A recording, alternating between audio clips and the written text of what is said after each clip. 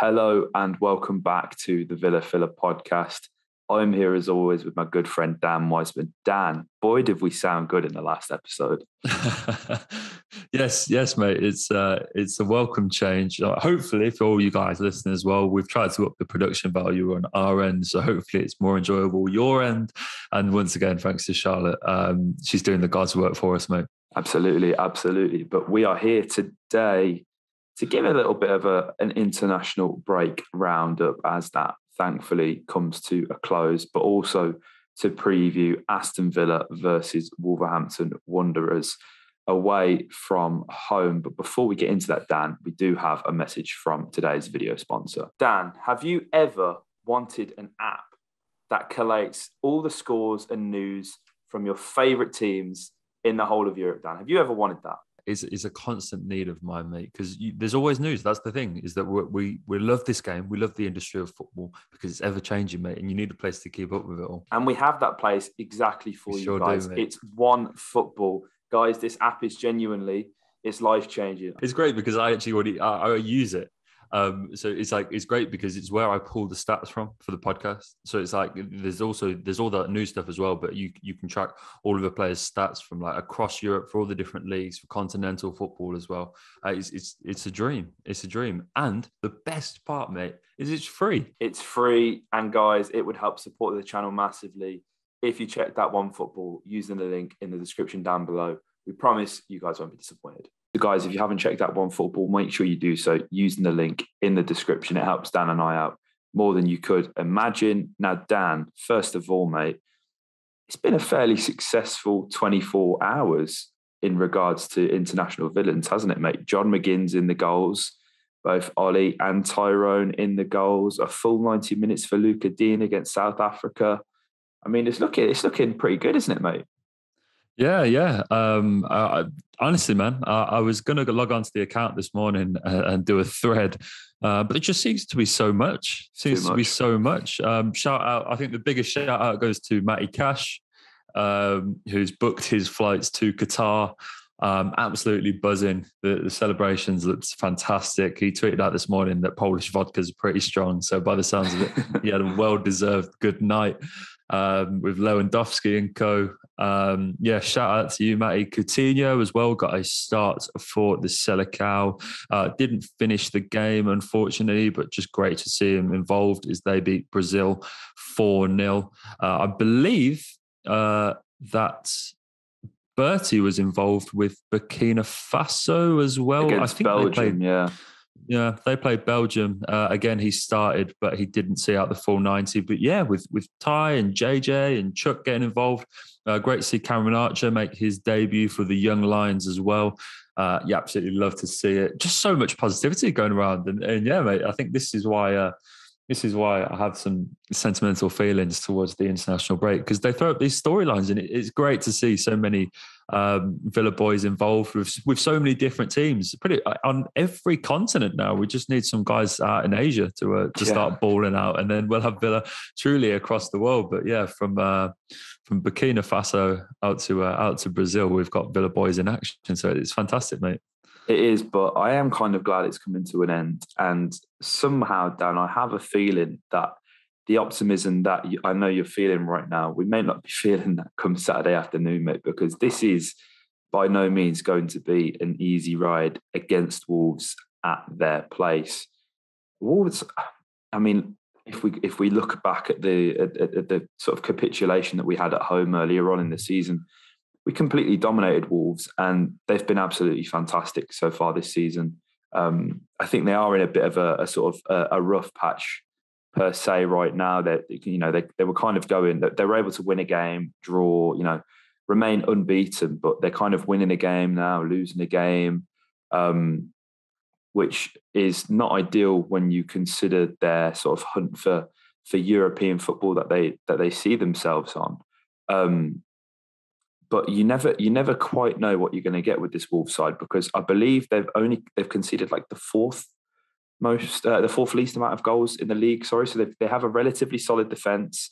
They're constantly outperforming their xG, um, which makes them really tricky to come up against. Dan, doesn't it? Because if if there's a side who is defensively resolute and can statistically score more than they should be in a match, then you really have to bank on Villa being just as clinical, if not more clinical, than we know Wolves can be. Yeah, it is going to be a really tough game, mate. We always seem to be very matched with Wolves. It's always very nip, nip and tuck. I think if you actually look at the head to head between very rare that you get a game between the two of us that ends with a team winning by more than one goal. You know, if you look at the last few results, it's all very close. It's 3 2, 0 0, 1 0, 1 0, 2 1, 2 1. Uh, the last time a team won by more than one goal in this fixture was our famous 4 1 victory over them at home back in 2018, which gave us a glorious goal from the Iceman himself, mate. We love um, him. Um, we miss him every day here on the Villa podcast. We really do. Uh, Birkir Bjarnason. Um, but yeah, so it, it's always a good game between two very evenly matched teams. Uh, I don't think it's ever really a game that either side goes into like a wash with confidence. I think, especially for Wolves, it was all going very swimmingly for them uh, in the run up to the national, uh, international break. They put four past Wolves, so they then went and beat Everton at Goodison. Uh, but then there was that collapse at home to Leeds. Um, yeah, they like the away side completed the most incredible comeback, won that game three two in the dying moments. Um, and and for Villa, it was it was sort of the opposite. Really, we were in in very good form, and then uh, we too, you know, went into the international break um, with a defeat, with two defeats, in fact, obviously West Ham and Arsenal. Before that, it was very much uh, sunshine and rainbows over at B6, mate. So yeah, it's it's going to be very interesting. Um, I, am looking forward to seeing exactly how we approach the game. Um, but we are sat, you know, there's only one place separating us in the table, so whilst I think you know most Villa fans won't be looking forward to this game, I, I would like to say that it's perhaps going to be more evenly matched than most would think. I think it's going to be interesting to see how Villa set up, and I, I genuinely couldn't tell you whether Stevie's going to go with the more traditional four-three-three or the two tens. But when you come up against the back three, which we know Wolves like to religiously play, it's all about creating space. It's all about drawing the centre halves out of position and and having their midfield runners infiltrate the box. That's not something Villa that we've necessarily seen since Steven Gerrard's come in. And I think, you know, I kind of I stuck my neck out on the last podcast, mate, when we uh when we last had a game, that is um Arsenal. Um I thought Villa looked a much more balanced team having Bertrand Traore and Leon Bailey on the pitch, having two natural wingers, not necessarily hugging the touchline, but players that have pace and were able to beat a man and were looking to put crosses into the box. Um, uh, that's not me saying I think that Leon Bailey or Bertrand Traore are better than Coutinho or Buendia, obviously. Um, but I think there is something to be said about playing players in their natural positions. And it feels like this may be a game, if not for both, because I, I don't really see a world where Bertrand Traore fits into any Steven Gerrard system, which is a shame because he's a, he's a stunning player on his day. I really do see this as a game that Leon Bailey potentially starts, mate.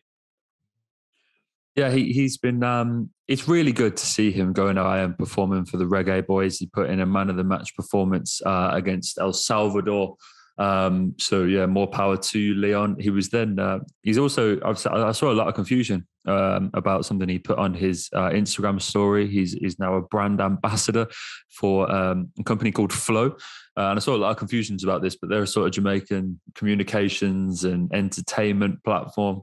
Um, and so, yeah, he's he's been living his best life out in Jamaica. um, obviously, he had that uh, those interactions with with Raheem Sterling and, and the royal family, Prince William and co, and all that nice stuff they were doing out there for charity. So, yeah, it's been a pretty nice return home for Leon. It's it's a nice injection of confidence. I saw, you know, I put out a, a post on the on the Hot Hot account about his performance sort of breaking it down into into the key numbers. And I sort of got a few replies saying, "Oh, it's only El Salvador. It's only doesn't matter who it's against. We need this He's guy brimming with confidence, playing his best football, doing it for his national team, building up fitness. I don't care who it's against. It's not relevant. It's like if he's putting in good performances, it's only going to be beneficial for Aston Villa Football Club. And so I think we are getting a better version of Leon Bailey. I think we're getting there. He's starting to show a few more flashes of, of what he's capable of. He's really been hampered by these injuries, and um, uh, you know it'd be very easy to get beat down. But he seems like he's pretty determined on on getting back to his best um, and doing it for Villa. And and speaking of players that are getting back to their best, obviously playing a full 90 minutes means that there's every chance that Lucas Digne can come back into the fold as well, who's someone I think we've missed at left back. So um, yeah, I think I think those are two inclusions that would be very interesting to see them field at Molineux. Sure, I think Digne's just so important to to providing a much more balanced approach, and we know that Wolves generally look to attack down their right hand side. You know, you look at the, the talent that they've got, the likes of Semedo, Trincao. Um, we've seen Hwang play on the wings on both sides. Um, you know, they've got a lot of pace. They've got a lot of tricky and skillful players. Um, and yeah, you know, ultimately, it's again, we love Ashley Young, you know, to the end of the earth. But um, when your legs don't work like they have done before, without in danger of quoting Ed Sheeran here, um, you know, ultimately you need some pace there. Um, and that's really thrown me off there because all I could think of was thinking out loud. Um, yeah, so ultimately having Digne back, hopefully he's in much better shape uh, than than he was when he left the Villa. Obviously, I think it was a bit of a sort of I want to say contentious decision. I think some people clearly weren't happy that Digne went away, um, but you know, there's there's all sorts of politics that are at play with international football, and there are genuinely about 70 right uh, left back, sorry, that can come and take Digne's spot at any given time. So showing up there, even if he's got two broken legs, it's absolutely the right thing to do, in my opinion. Keep yourself in Deschamps' good books. Um, now, Dan, this is a game. Again, we're going to be talking about the midfield because it's it's the point of weakness for Aston Villa. You have to win this game in the midfield, right? With the midfield, I'm sorry, I don't care how good they are, and we saw this against West Ham and we're going to see this again. A midfield two should not be getting the better of a three, or in, in Villa's case in recent times, a diamond four.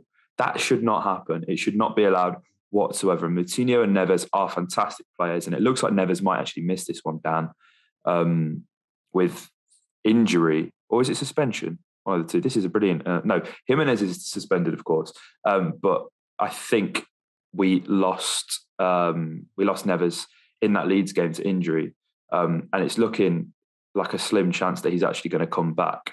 Um, so you have to absolutely take advantage of the fact that they don't have their star man in the middle of the park, the person who makes things happen. Of course, Moutinho is a fantastic player, but I think having the, the legs of Neves really does complement him, especially given his age. Um, and again, mate, Morgan Sanson, let's start this guy. Let's see what he's got, please. I am dying to see. It was nice to see um, Digne talk so uh, candidly about you know when he first joined the club and how helpful the likes of Morgan and Tyrone were. Um, it's nice to just hear Morgan's name get mentioned, really, mate, because it feels like it's just you yeah. and I that are ever ever uttering the name, the word Morgan Sanson. Yeah, it's it's um it's unfortunate because it's probably too come a game too early for Nakamba, who we've yeah. seen is, is looking to get back on grass. Um, I think these, you know, we're coming into a few games where it'd be really nice to have him. It looks like he's going to get a run out against, uh, against Stoke with the under 23s. Unfortunately, missed the Wolves game, but it does look like he might be back um, next time out for uh, the game against Spurs, which then gives us real options in terms of if we do want to make any changes to that midfield. Um, Morgan Sanson, I mean, what do you even say at this point, mate? Uh, I saw him linked to a move um, to Nantes um, in France. Um, just a side note on that club, everyone says Nantes. It's not. it's, uh, just not the team. Um, and so, yeah, I saw him linked with that move, and um, yeah, it, it, wouldn't surprise you at this point, mate. Would not surprise you. I think there's, you know, it's it's. What do you think, mate? Because a lot of when it was Digne, you could put it down to there seems to be an odd personal relationship there. Do you know what I mean? It was like everyone was down to like, ah, oh, something's not right between him and the gaffer, and like that seemed a bit believable. And I saw someone say it's like, well, it's obviously not about ability. There's clearly something wrong on a personal level. That's why, because why else would he not be? Especially when we've been mm. struggling, and it seemed yeah. for so long that the midfield is. Do you, do you buy into that? What, what do you think, mate? I don't know. I think it'd be easy for people to go, oh, you know, he's just a, a lazy Frenchman, which is like, we can't really say that, can we? Um, but I don't know. I, the, the talent's clearly there. And I think the thing is, mate, we like the, the general public and, and, and football fans and everybody, we're so naive. We see the training pics, we see Morgan's, you know, saying all these things about hard work and all this kind of stuff and, you know, we have no reason not to believe that. But it does kind of beg the question if that's now two managers, and one of them is, you know, Steven Gerrard, who quite clearly holds seriously high standards and, and drastically higher standards than Dean Smith ever held slash ever will hold. I think it may be fair to assume that maybe this is there is a, an issue with Morgan Sanson and how he trains, but you know, someone someone had clipped up a, a Sanson compilation video, which naturally I've watched about hundred times over the past week, and he's just a wonderful footballer, and I appreciate. Obviously, this is it, it's all like he said, she said, whatever at this point because nobody knows. And Stevie's even come out and said, like, look, he's a fantastic player. I'm really excited to to work with him, but I, I don't know. It, it's it almost seems like we're never going to see him play for Villa again, Dan. Yeah, it's it's one of them mate, where you know with every game that ticks, it, it seems more and more inevitable that he will be departing in the summer. Um, and then for me, he sits right atop the list of Villa what ifs.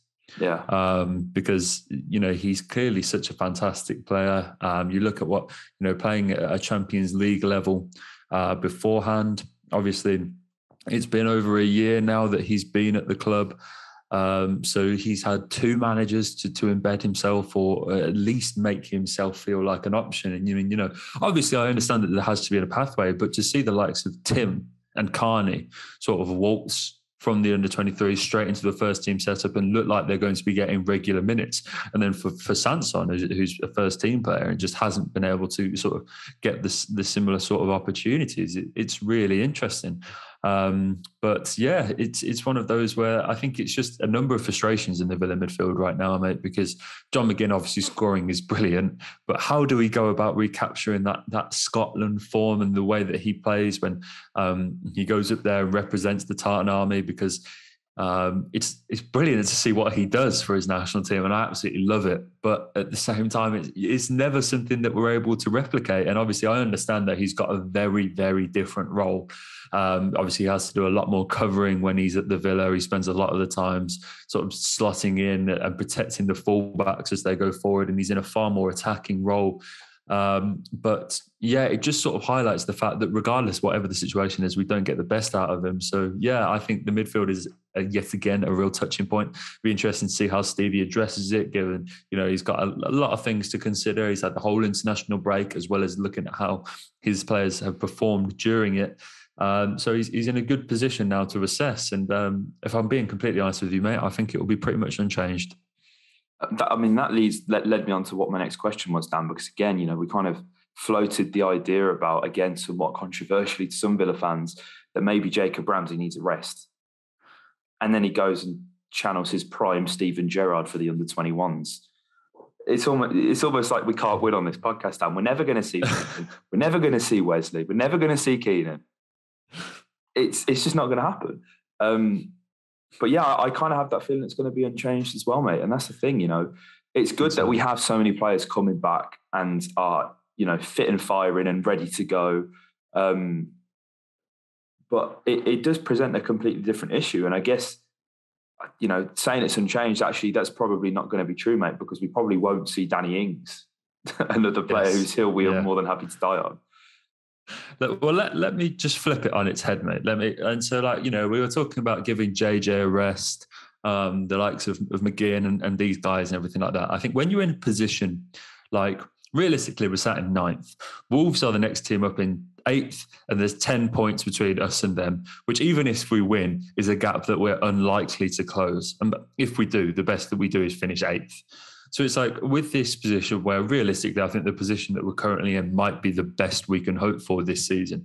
Are you not just focusing, like better off focusing on individuals that you know will be here next season? Do you think that's a, that's a part of it? Because obviously, whilst we'd love to see Sanson, I mean, even if he gets a start in all of the games until the end of the season, uh, you know, obviously he's clearly unsatisfied with how he is at the club, and a move I think would still look likely. Uh, are you not just best sort of aligning yourself with the future, giving Tim the minutes, giving Carney the minutes, giving John and JJ, all these guys that you know will will stick around? Is is do you think that's that's part of it? Maybe. What kind of a message does that send to to Coutinho though?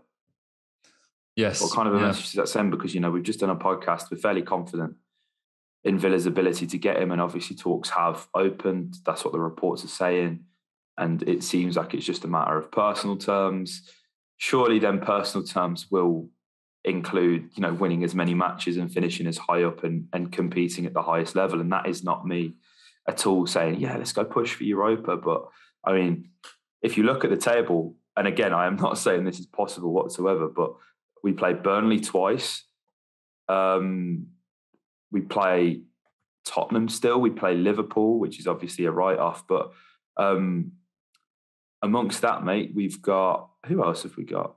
It'd be nice if my internet had loads. Uh, Leicester, we've got Norwich. You'd think Norwich is an easy game. Uh, Crystal Palace at home. Villa win, you know, four of their remaining eight games. We could actually be looking at a, a, a, a relatively decent finish, mate. To be, if you know, if we're being optimistic, you know, four out of eight. Which we are here. Yeah, we are always, here on the Villa Filler. Always.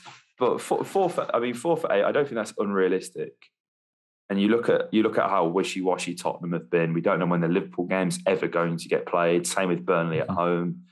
Um, but you know, you'd like to think that at the very least, Burnley twice, Norwich, and Palace is 12 points, right?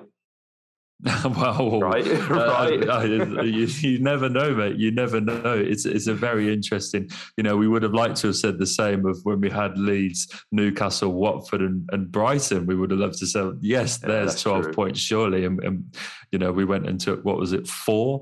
Um, so it's it's very difficult to say, isn't it? It's like you know, definitely we there are plenty of winnable games left this season. I think we at Villa we all know are very capable of going and winning them. It's just as we know from a lifetime of supporting this great club, mate. It's it's never that simple, is it? Um, but you know, then by the same token, we're capable of going performing against the best teams. So Villa have, have shown that.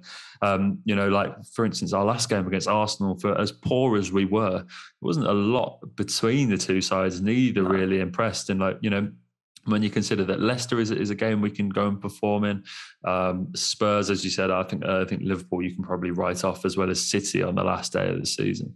Um, but there's, you're, right, you're, right. There's definitely an opportunity for points, and I think um, if we do want to progress and, and, close, as I said, that ten point gap, we do have that game in hand. Uh, it's got to start with three points at Molineux, mate.